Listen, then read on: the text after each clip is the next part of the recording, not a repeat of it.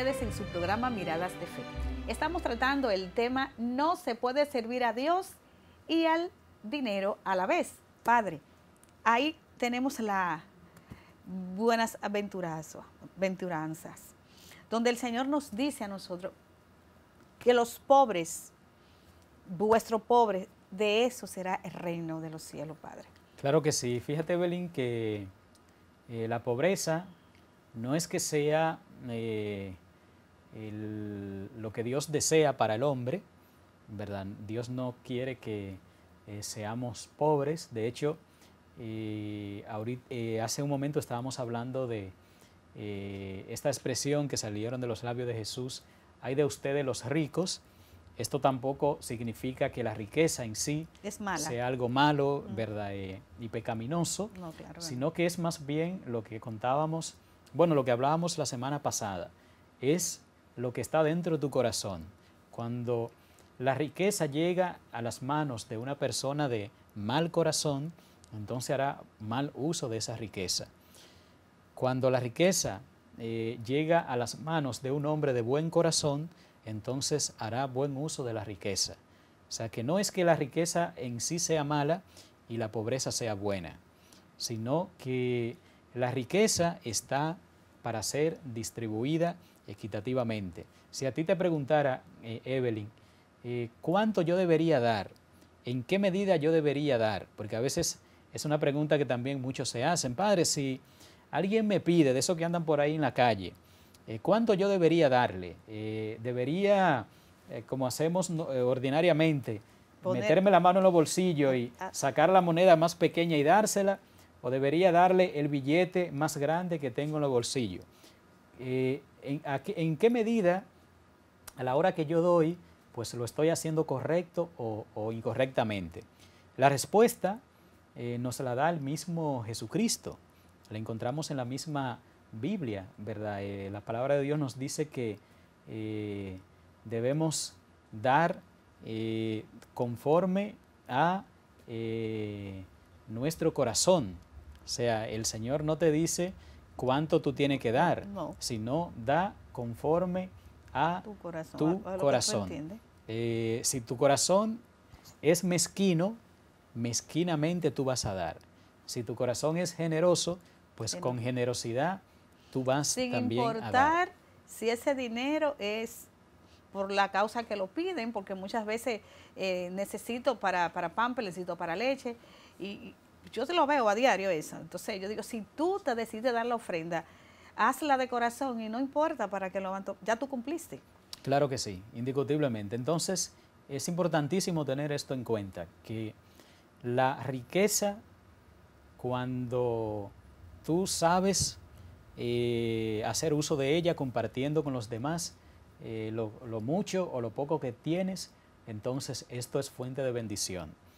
Eh, la riqueza cuando llega a las manos de personas buenas que tienen esta conciencia y que saben hacer el bien, pues es una bendición porque la riqueza te permite hacer muchas cosas buenas por los demás. Así es. Hay personas que dicen, si yo fuera rico, ¿cuántas cosas buenas haría por los demás? O sea que en un corazón así, que está dispuesto a desprenderse de lo que tiene, pues la riqueza es algo muy bueno. Sin embargo, eh, Jesús llama bienaventurados a los pobres, porque eh, justamente la riqueza, cuando no se le da buen uso, eh, más que una bendición es una desgracia. Y es mejor ser pobre y ganarse el cielo que, ser, rico, e irse al infierno. Entonces por eso la pobreza es una bendición para aquellos que saben vivirla y asumirla, ¿verdad? Porque no es que todos los pobres eh, seamos dichosos, ¿verdad? A veces hay muchos pobres que vivimos la pobreza eh, muy engreídamente, eh, con mucha soberbia, con mucha rabia. Son quizás quizá somos pobres económicamente hablando, claro. pero ricos y millonarios en soberbia. Exactamente, en soberbia, en, en, ingratitud, ¿verdad? Porque a veces somos muy mal agradecidos. Entonces, este tipo de pobreza no es de la que habla el Señor.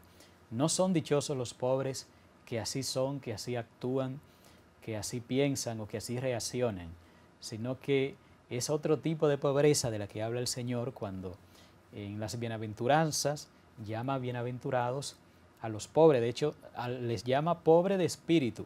Eso. O sea, porque de ellos es el reino de los cielos. Los pobres espirituales que se saben humildes, sencillos y que viven agarrados siempre de la, de la, de la providencia y no afanados por el dinero, por el Dios dinero, ¿verdad? Del que eh, muchos vamos enamorados, eh, perseguidos, ilusionados, pensando que allí está la felicidad ah, o la salvación inclusive. Entonces, importantísimo que... En, y que, dice el Señor también en su palabra que Él premia al que se entrega, al que da de corazón. Él premia al, dador alegre. Y sobre todo, Padre, eh, dar, dar desde el corazón, como usted dice, y sobre todo hacerlo en silencio. Claro, de, hecho, el, dar debe hacerse siempre con amor eh, y desde el amor, porque hoy en día está muy de moda en, el mundo de los eh, ricos lo que se llama la filantropía, que son obras sociales, ¿verdad?, que eh, realizan muchos ricos en el mundo, pero que es, es una obra donde no está fundamentado el amor, donde lo que está es la publicidad, se dona un millón y todo el mundo lo sabe, ¿verdad? ya recibieron su paga. Exactamente, entonces eh, el dar al que estamos llamados es un dar en silencio, como, lo bien, como bien lo dice la palabra, que no sepa tu mano derecha. Lo que la izquierda hace. Exactamente lo que está dando tu mano izquierda. Entonces este es el tipo de amor, del desprendimiento al que estamos llamados como cristianos, como verdaderos cristianos. El dar no como los políticos, que buscan la cámara, que buscan la prensa. Y dan por intercambio, padre. Claro, exactamente. Por eso vemos muchas veces en el cambio de gobierno, eh, voy, a, eh, voy a votar por una persona X, eh, se ponen en, el, en gana, logra ser presidente y ya luego comienzan las quejas, que de eso lo estamos viendo a diario. Claro que sí, claro. Entonces, importantísimo recordar que el destino universal de los bienes implica el, que lo que Dios o que todo lo que Dios ha creado eh, es para el disfrute de todos. Yo no puedo pretender eh, ser el único que disfrute de las cosas creadas por Dios. Eh, al igual que tú, Evelyn, no puedes pretender disfrutar tú sola de lo que Dios ha creado, sino que siempre lo que tú tienes debe ser para ti y para compartirlo compartir, con los demás. O sea que las cosas no son para un grupito, no son para unos cuantos, sino que eh, las cosas Dios las ha creado para el disfrute, para el deleite de todos, de todos los seres. Así es, Padre. También queremos saber eh, también que el Señor nos dice en este también en este tema que amarás dando y compartiendo. Es decir, yo te doy, yo digo, por ejemplo, Padre, hay que dar, hay que dar por gracia, lo que por gracia recibe. Y yo a veces le digo a, las muchachas en la comunidad, a mis hijas, digo señores, si la gente supiera, eh, eh, mientras menos mezquino tú eres, más bendiciones el Señor permite que llegue a tu vida. Y no hacerlo por eso, porque van a llegar, yo voy a dar para que, porque voy a recibir. No, hacerlo y deprenderte y darle la gracia al Señor que permite que eso llegue a ti. Porque hay muchas necesidades, Padre. Claro que sí. De que hay necesidades y necesidades. Y yo siempre he dicho, cuando a ti te sobra un par de zapatos, camisa o cualquier cosa que tú tengas de más en tu casa, puede tener la seguridad que eso le hace falta a otros, Padre. Claro que sí, indiscutiblemente. Porque he visto cosas tiradas, cosas que son, que le hace falta a otra persona y prefiere mejor echarlo al zafacón que desprenderse y dárselo a quien realmente lo necesita. Claro, de hecho el, pecado de, la acumulación de los bienes consiste precisamente en eso, en que tú eh, te guardas para ti algo que no estás utilizando o necesitando en ese momento y que otro, sin embargo, lo está necesitando y utilizando. Entonces, este es el gran pecado que tiene la acumulación de los bienes que tú te guardas, lo que otro en ese momento está, exactamente, está necesitando. Claro, y recordar, ¿verdad?, que eh, el trabajo, que es eh, de algún modo el instrumento que Dios nos ha dejado para adquirir los bienes, además de ser un valor en sí, eh, ¿verdad? El trabajo tiene su valor, eh, pues todos tenemos el deber y el derecho de acceder a él.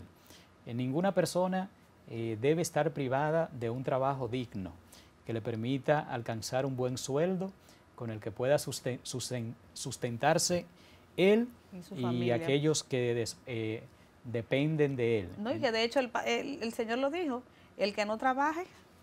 Exactamente, que no coma, así mismo. De, pero lamentablemente, ¿verdad? vemos cómo en la sociedad eh, muchos se aprovechan de los trabajadores, eh, muchos maltratan a los trabajadores con sueldos eh, pésimos, con sueldos injustos.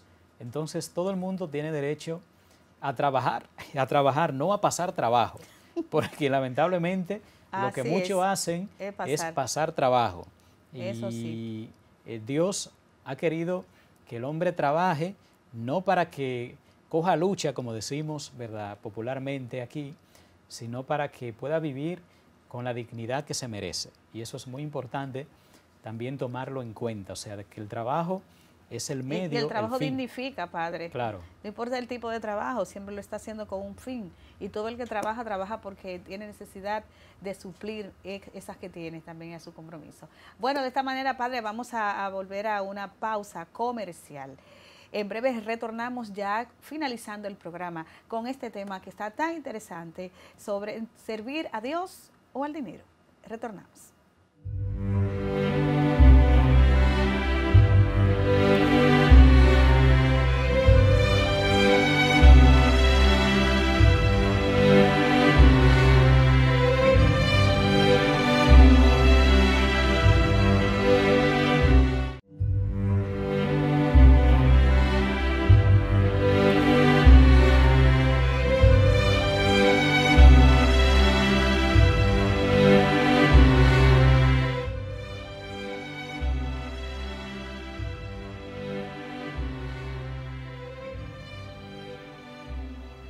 De nuevo estamos con ustedes en su programa Miradas de Fe.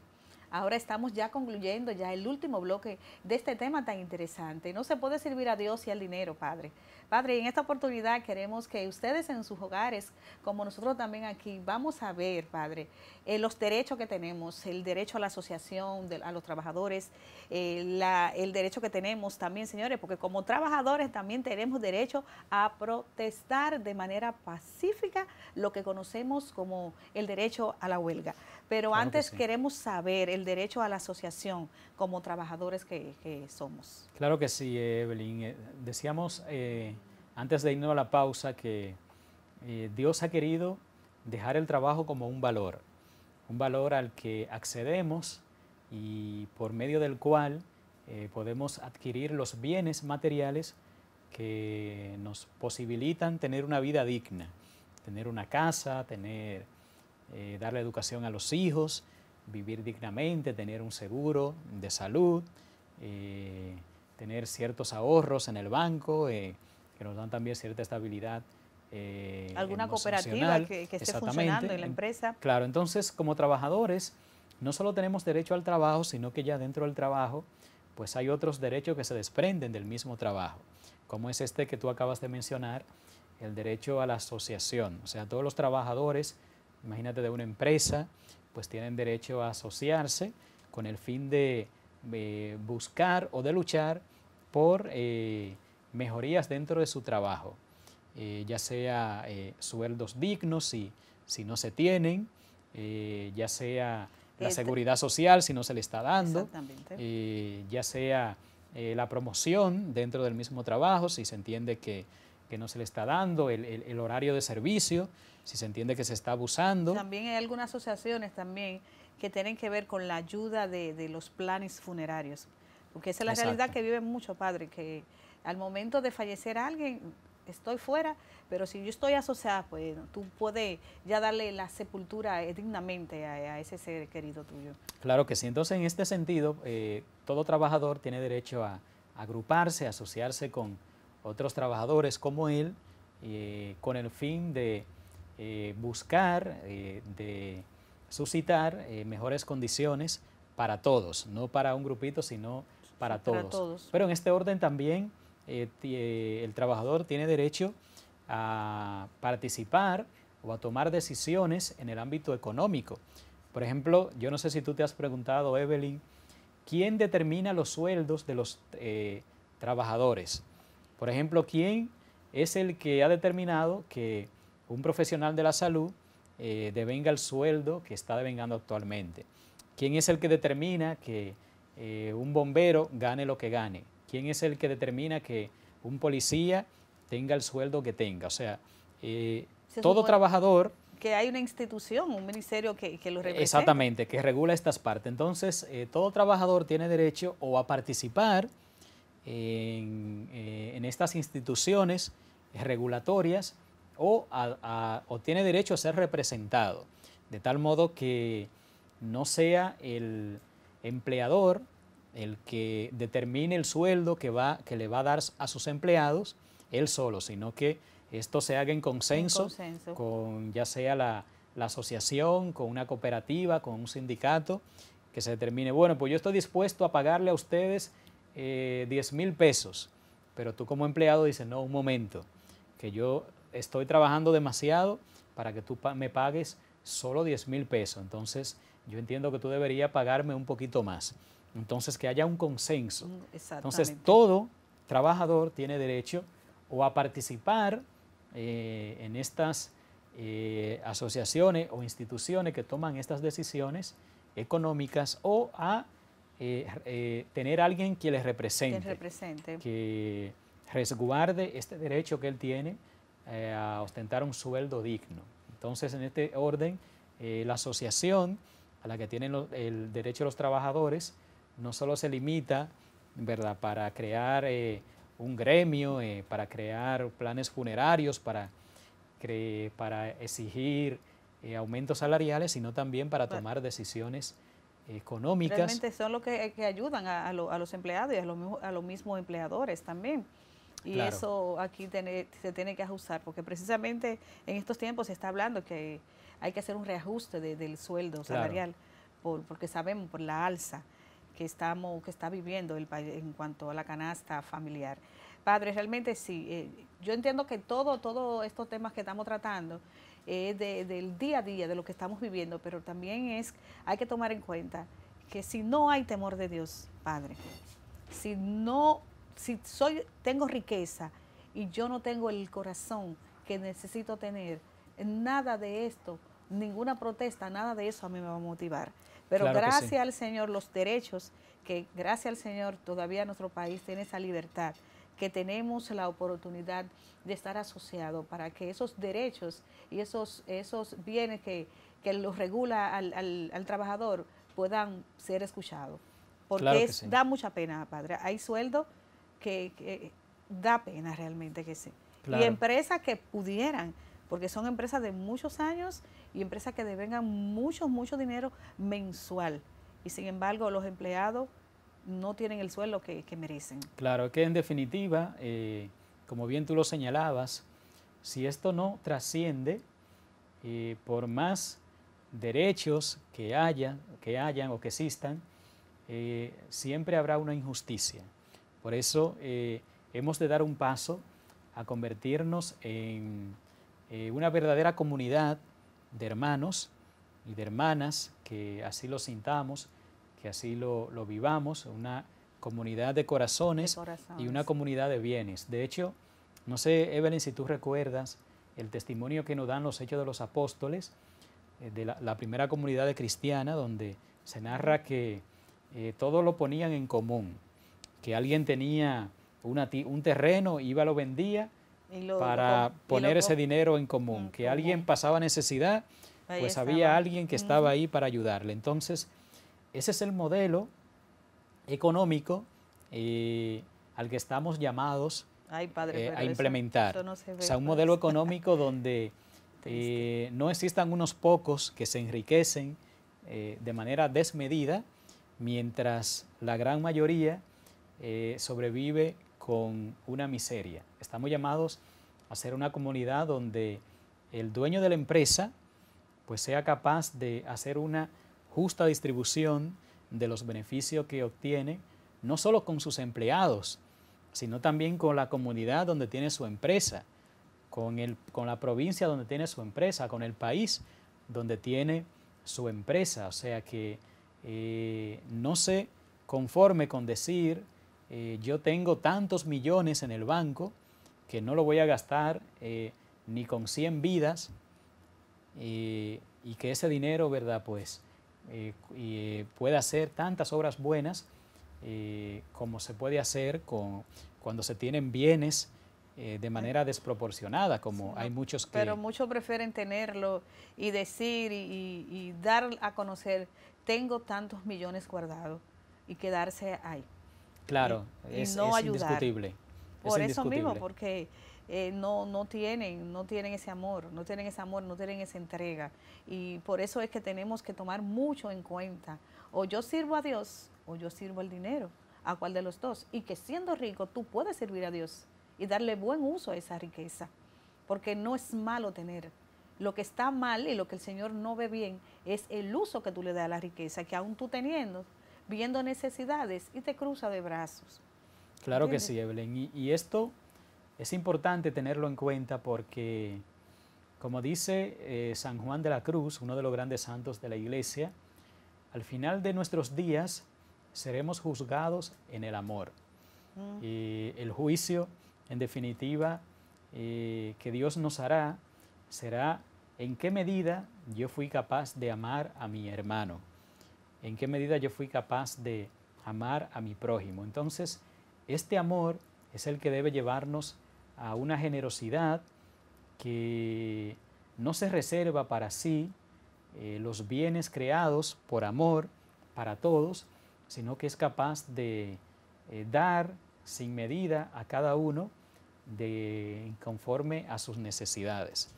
Entonces, por eso es que debemos esforzarnos por no acumular más de lo necesario y por eso es que debemos esforzarnos por dar eh, siempre que podamos.